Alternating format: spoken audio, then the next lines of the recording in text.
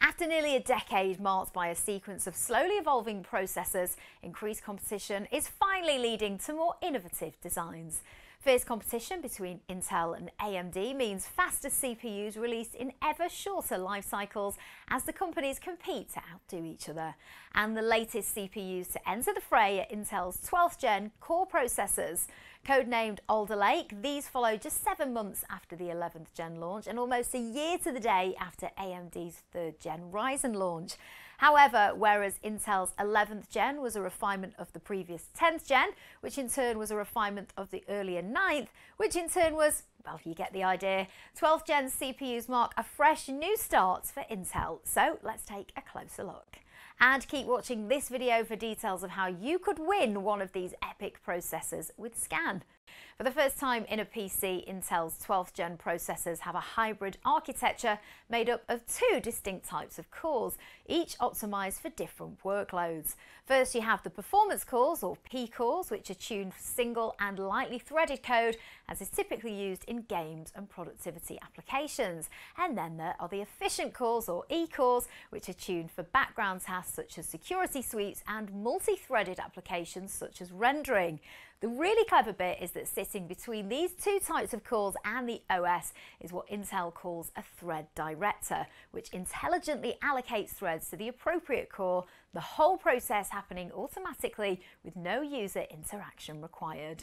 While the P cores and E cores share the same access to a huge level 3 cache, system memory and I.O., they each have their own pool of level 2, so they're functionally independent. And speaking of memory, 12th Gen introduces support for DDR5 up to 4800 MHz, although it does also support DDR4 up to 3200 MHz. I.O. has also been given a boost with support for PCIe 5 add-in cards, although the M.2 slot only runs at PCIe 4. All these new features mean that 12th gen CPUs have a new socket with considerably more pins than their predecessors, communicating with the motherboard via a dense array of 1700 connectors versus the 11th gen's 1200. There's also built-in support for Thunderbolt 4, 2.5 gigabits Ethernet and Wi-Fi 6E in the new Intel Z690 chipset, although it will still be up to motherboard manufacturers how they implement these.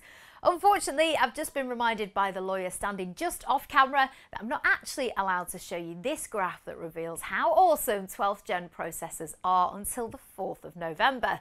So for the purposes of this video, we've had to blur it out. But if you tune in next week, you'll get the full spec and benchmarks rundown. In some ways, the switch away from a uniform core design to a hybrid core design makes it hard to compare 12th gen with 11th gen core processors. Now, whilst you could argue that the new P cores are broadly similar to the old uniform cores, for the sake of clarity, we've separated them into three separate rows in the table. This allows you to more easily see that whilst the number and variety of cores may have changed, the fundamentals remain the same i.e. Core i9 processors have the most cores and threads, Core i7 a few less, and Core i5 the least. For instance, whilst the Core i9 12900K and Core i7 12700K both have the same number of P cores, the Core i9 has double the number of E cores. As mentioned, we're giving two lucky viewers the chance to win one of these new Intel 12th Gen Core processors. All you have to do to be in with a chance of winning a Core i9 12900K or a Core i5 12600K is click the link in the description which will take you to our Gleam competitions page where you just need to let us know what the difference in cache size between the two CPUs is for your free entry. As mentioned, we'll dive into more details on the specs and all important real world performance data in our follow-up video. In the meantime though, you can head over to the Scan website where you can browse the range of Intel 12th gen CPUs plus compatible motherboards, coolers and memory.